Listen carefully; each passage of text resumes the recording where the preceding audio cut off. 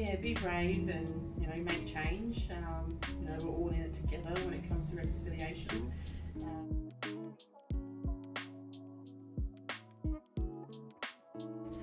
yeah, we, we thought it would be something different, like to do the, the writers' um, workshop, because um, it is a way of just bringing community together. You know, have a cuppa, have a yarn. You know, um, they can just write what they feel, or you know, some experiences uh, that they've gone through. Um, we've got some Stolen generation um, elders here, you know, so it's lovely for them to be able to share their story with um, everyone that's here today.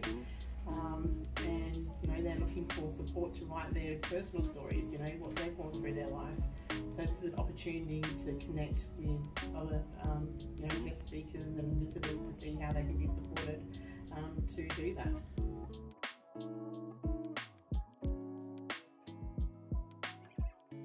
Where there's a negative, there's always positives. There, there was a lot of good times we've had. I've had in the upbringing, but then there were bad times too. But we try not, you know, dwell on the bad. Dwell on the bad, like to inform on the good things I went through and that, because I benefit from both worlds. So, okay. I'd like my children to know that I do not want them to be ever, ever be prejudiced or anything. Okay, so when they read this wide thing, they'll understand what their grandmother's all about.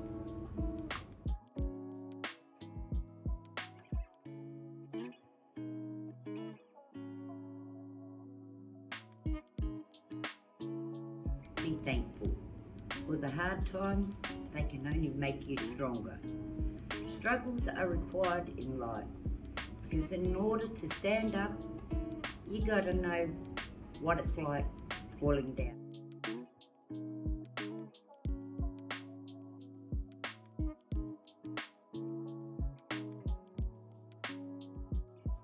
And I guess you know with the city council as well, you know, um, got a reconciliation uh, plan there that um, local community has been involved with establishing um, in partnership with the council. Um, and that's how my roles come about. Um, so I'm the first First Nations engagement officer um, situated at City Council, and it gives me the opportunity to connect um, with the team there to, you know, be involved with workshops like this and, um, you know, connect and engage with community.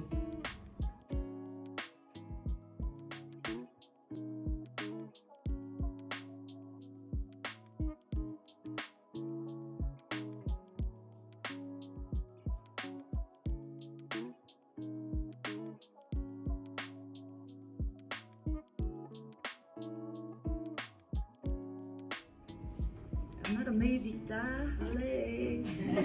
Thank you, Paul.